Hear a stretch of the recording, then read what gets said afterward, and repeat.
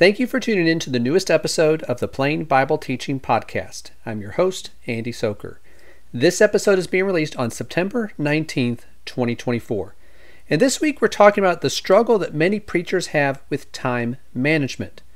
The work of preaching the gospel is obviously important. Therefore, it's important that we dedicate time to doing it and also to use that time wisely. We're going to talk about what that might look like here in this episode. For links to the story we're talking about and some other related materials, check out the show notes for this episode at plainbibleteaching.com slash podcast slash 091924. Now for our story this week. Pastors report struggling with time management over commitment. From Lifeway Research, as pastors think about their greatest needs, some of those go beyond their ministries and are instead connected to their personal lives. Many pastors worry about their time management skills and how they can balance all the responsibilities that they have at church and at home. In their personal lives, half of U.S. Protestant pastors say they need to focus on time management, and more than half say avoiding overcommitment is a challenge for them, according to the latest release in the Greatest Needs of Pastors study from Lifeway Research. Now, that study found that 51% said that time management is their biggest challenge, and that's not really surprising to me. So I thought it would be good for us to discuss that in our episode today.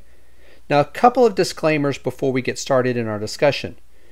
First is that this article is a couple of years old, but I still believe this issue is probably relevant because I don't know how much has changed in that time. And second, the article talks about pastors but I am referring to preachers. The common denominational concept of a pastor is not biblical. They take some aspects of the elder role and some aspects of the work of a preacher and mesh those together into a different role that is not really what the Bible talks about. But since preachers are more likely to receive support for their work, I believe the points that are discussed in that article are more applicable to the work of a preacher. So that's what we're focusing on here. And one more thing before we get started. This discussion is primarily for preachers. But if you are not a preacher, that does not mean I think you should just turn off the episode now and move on. Some of the principles that we're going to discuss here will apply to all of us as Christians, no matter who we are. But also, maybe by listening to this discussion, you might better understand the constraints on those who have given themselves to the work of preaching, and more understanding on everyone's part is always a good thing. So, there are a couple of ideas I want us to consider. First is that time management is a biblical principle. Every productivity guru, so called, talks about time management, but they didn't come up with that on their own. The Bible addressed it long before any of them were ever around. The Apostle Paul said, Therefore be careful how you walk, not as unwise men, but as wise, making the most of your time because the days are evil. He said we are to make the most of our time, to use our time wisely. And this is something for all of us, not just preachers. But for those who are preachers, Learning how to use your time wisely starts with remembering some fundamental principles. Number one, that your time is limited. This principle is found in James' instruction in James chapter 4, beginning in verse 13, where he said, Come now, you who say, Today or tomorrow we will go to such and such a city and spend a year there and engage in business and make a profit. Yet you do not know what your life will be like tomorrow. You are just a vapor that appears for a little while and then vanishes away. Instead, you ought to say, If the Lord wills, we will live and do this or that. But as it is, you boast in your arrogance, and all such boasting is evil. We can make plans, we can work to carry out those plans, but we can never do everything that we want or that we plan to do. And this is because life is uncertain. Even if we don't pass away, as what that passage talked about, we will still never accomplish everything that we might plan because our time here is finite.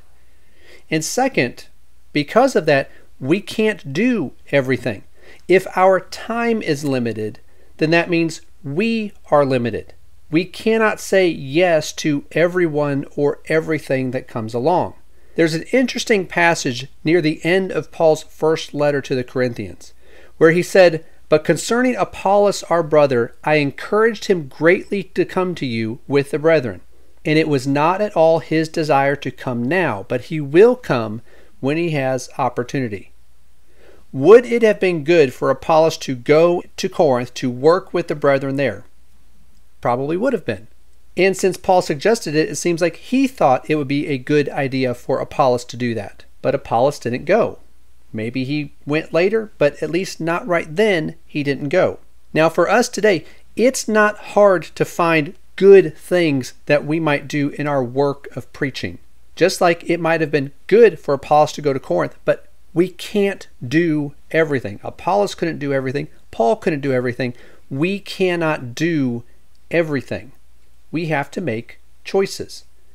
Another principle that we need to remember is that we need to be flexible.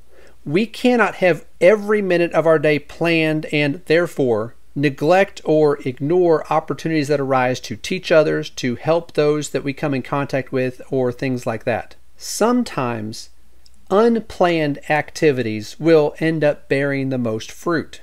Remember Jesus' conversation with the woman at the well in Samaria. That led to many of the people coming to Jesus, hearing him, and believing him after she talked with Jesus. Then she went to the city to tell the others there about him. The text says, From that city, many of the Samaritans believed in him because of the word of the woman who testified, He told me all the things that I have done. So when the Samaritans came to Jesus, they were asking him to stay with them, and he stayed there two days. Many more believed because of his word. Yet we need to understand that this was not a scheduled visit that Jesus made to Samaria. Near the beginning of the chapter, it says he was passing through Samaria on his way to Galilee. We cannot manage our time so rigidly that we ignore or neglect opportunities like this one. And then another principle is that we are a steward of the ministry that we have been given. Paul told the Corinthians, Let a man regard us in this manner, as servants of Christ and stewards of the mystery of God. In this case, moreover, it is required of stewards that one be found trustworthy. As an apostle, Paul was given the work of revealing the mysteries of God and proclaiming the gospel. It wasn't his work, it was the Lord's work. And in the same way, those who preach today have the responsibility to preach the word, to do the work of an evangelist, and fulfill their ministry.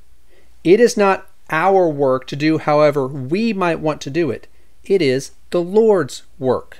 And we will give an account for how we have stewarded that ministry that's been entrusted to us. Now, those are some principles, but we also want to talk about some practical matters regarding how preachers might manage their time. In reality, time is fixed and we cannot change it, but we do manage what we do with the time that we have. And there are certain practices that we can implement. Number one, we have to do the work. That's simple enough, right? Well, Paul told Timothy, do the work of an evangelist. There is no productivity hack that replaces this. You cannot automate your Bible study. You can't use AI to write your sermons, or you shouldn't do that. You need to be willing to do the work. Number two, you can plan your work. This is a biblical principle. The wise man said, The plans of the diligent lead surely to advantage, but everyone who is hasty comes surely to poverty. He said, Plans are beneficial if we are diligent. Otherwise, planning is just another form of procrastination where we just sit around and think about what we're going to do but never actually do anything. If we are diligent, though, plans lead to an advantage. So have a plan for each day. Have a plan for the week. Don't just wing it and expect to accomplish what you could have accomplished had you sat down and made a plan of what you intend to do and what you intend to accomplish. And this can include sermon planning. I used to scoff at the idea of those who would plan out their sermons months or even a year in advance. But after trying it, I've found it to be incredibly helpful to plan out your sermons ahead of time, that you never have to wonder, what am I going to preach this week? Because you've already planned, you've already scheduled what you're going to preach this week. Now, I've heard of preachers planning sermons for a year, I've even heard some who plan longer than that, but some who plan a year out, I don't do that. I plan about three months at a time. Currently, right now, this week, I'm planning my sermons for the last three months, the last quarter of 2024. Now, sometimes that schedule needs to be adjusted. It's never written in stone. We already talked about the principle that we need to be flexible. So sometimes the schedule changes, but having a plan in place is incredibly helpful. Again, you're never wondering, what am I preaching on this week? Because you've already figured that out. Number three, you can batch your work. Now, a lot of productivity advice mentions batching your work. That simply means doing similar tasks together, so your brain isn't having to switch from one topic to another. Constant context switching is mentally taxing and will slow you down. Sermon planning, as we talked about in the last point, is a form of batching where you brainstorm topics for several weeks all in one sitting. But there are other ways you can do this as well. I do it with social media posts. Every week, I send out an article each weekday to the Daily Bible Notes email list and also post that on the Daily Bible Notes Facebook page. I post nearly every day on the Plain Bible Teaching Facebook page and Twitter account or X account or whatever it's called now. And I do all the posts for a week in one sitting, usually on Friday mornings. But I do all of it at one time. If I did all those a day at a time, or even one post at a time, it would easily take me three or four times longer than it does now. Batching all of that together frees up extra time for other things. Fourth, another thing that you can do with your work is to reuse your work. And to illustrate this, I'm going to reuse something that I wrote for the Plain Bible Teaching Sermons newsletter, which, if you're not receiving that, I know this episode is directed to preachers. If you're not receiving the Plain Bible Teaching Sermons newsletter, which is really directed to preachers, I'll include a link in the show notes where you can sign up for that newsletter that comes out once a week. But in this particular issue of the newsletter, I talked about making the most of your sermons and offered some ideas on how you might do this. You can take the outline or a portion of it and write it as an article that could be posted on a website, a blog, or social media. You can add the audio recording to a sermon podcast or create a sermon podcast if you don't have one already. If the sermon is recorded on video, you can post the entire video on YouTube and even create a new YouTube channel if you don't have one yet for sharing those videos. If the sermon is not recorded on video, you can record short videos discussing various points of the lesson and post them to YouTube or other social media sites. If you create charts for your sermon, you can export them as JPEGs and post them on social media.